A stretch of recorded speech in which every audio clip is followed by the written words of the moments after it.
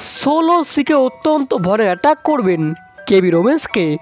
বন্ধুরা এই স্ম্যাকডাউনে তৈরি করা হয়েছে একটি singles match Solo Sikoa versus Kevin Owens আর এই ম্যাচের মধ্যে সোলো সিকে রেগে রয়েছেন কেবিন ওভেন্সের ওপরে আর সপ্তাহের পর সপ্তাহ স্ম্যাকডাউনের পরে স্ম্যাকডাউন প্রত্যেক জায়গাতে সরাসরি সংঘাত দেখানো হয়েছে কেবিন ওভেন্স এবং সোলো সিকোয়ার মধ্যে।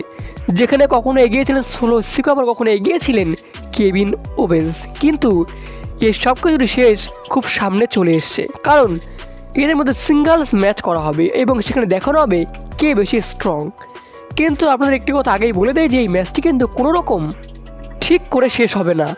এখানে করা হবে ডিসকোয়ালিফিকেশন যেটা করবে ইউসস অথবা রুমাডিংসও কিন্তু করতে পারেন, কিংবা স্যামিজেনও রয়েছে এই লিস্টে আর যেহেতু রয়্যাল রম্বলে হবে একটি সিঙ্গলস ম্যাচ কেবিন এবং রোমানের মধ্যে, তাই সেই ম্যাচটা আগে অবশ্যই কেবিনকে স্ট্রং দেখানো হবে। তাই ষোলো থেকে অ্যাটাক করতে পারলেও তিনি কেবিনকে অবশ্যই হারাতে পারবেন না। আর অপরদিকে কেবিন রোমেন্সকে স্ট্রং দেখানো হলে তিনি ষোলো সেভাকে সরাসরি হারাতে কিন্তু পারবেন না।